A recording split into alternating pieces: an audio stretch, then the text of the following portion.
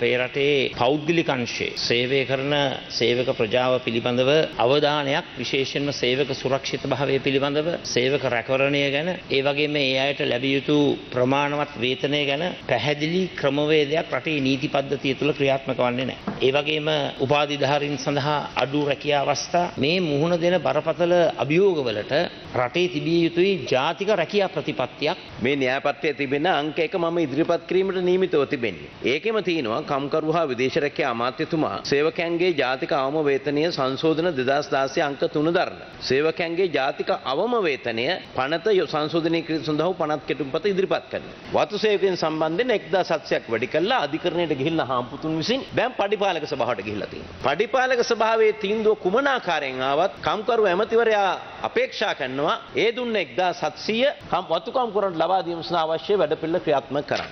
දෙදස් දහනමේදී උපාධාරී පනස් දෙදහක් රජයේ සේවයට බඳවගත්ත සංවර්ධන නිලධාරීන් හැටියට. එයින් විසිතුන් දහක් පාසල් වලට දැම්ම පුහුණු වෙන්න. දැන් මාස 15ක් අධිකරණයේ නඩුව ගියා ඒක දැන් සමතක කරන තැනට අපි ගෙනල්ලා තියෙනවා. ඒ අතරතුර එතන ඉතුරුලා ඉන්නවා 16000ක් තව 23000කට අපි පත්තින් දීලා අවසන් කරලා තිනවා ගුරු හිඟය තුලනය කරන්න. ඉතින් මේවා මේ ආර්ථික අභියෝග මැද්දේ එකින් එක එකින් එක විසඳගෙන තමයි මේ අවුරුදු දෙක තුල අපි මෙතෙන්ට ඇවිල්ලා